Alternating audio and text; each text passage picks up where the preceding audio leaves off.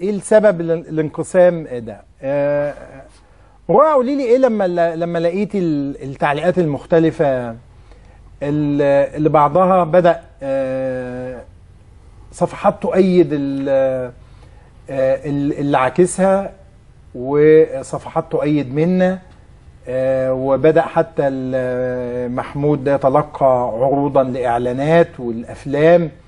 ويلتقط الصور في أماكن مختلفة وناس تدخل تتضامن معاه وناس تدخل تتضامن مع من آه، لقيتي ده إزاي أول حاجة أنا ماليش دعوة بيه في دي.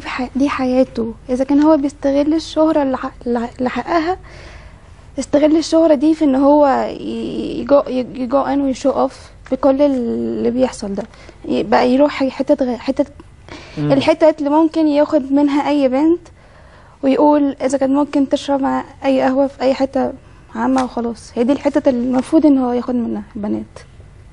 امم تمام؟ أسوأ حاجة في الموضوع ردة فعل الناس.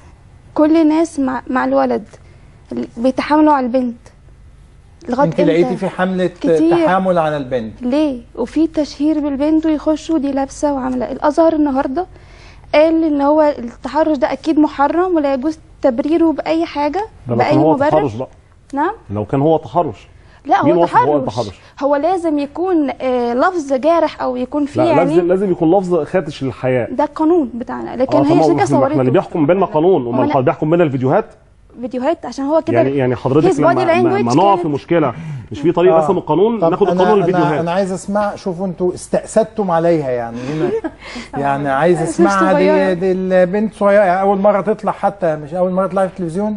آه لا ممكن طيب. عملت حاجة تبع الكليه بس مش مش أونلاين يعني. إيه فأنت لقيتي في حملة على البنت لمجرد إنها بنت. آه، مجرد إنها بنت إن دخلوا على ال profile بتاعها جابوا صورها. لا هو ما مش مش معنى إن هو ما قالش حاجة جارحة معنى كده إن هو مش غلطان. هو العادي إن أنا أوقف أي بنت في الشارع وأقول لها تعالي اشربي معايا قهوة؟ طب سؤال طب لو هي كانت راحت شربت معايا قهوة مثلا وسرقها هل هيبقى ليها ليها حق إنها تعمل أي حاجة؟ ما انت رحتي مع واحد غريب ما انت اللي مشيتي مع حد غريب.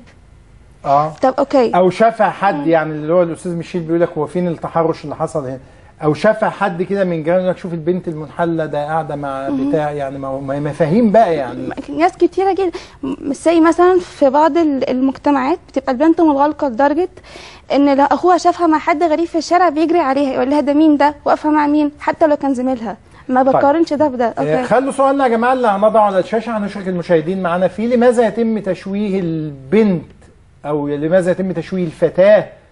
في آه، قضايا ال- التحرش والاغتصاب. حتى بتروح المحكمة بتتبهدل. دايما بتلاقي دفاع الخصم بيلجأ إلى فكرة تشويه سمعتها يعني. ده لو آه، يعني بيحصل آه، بهدله طب أنا سمعت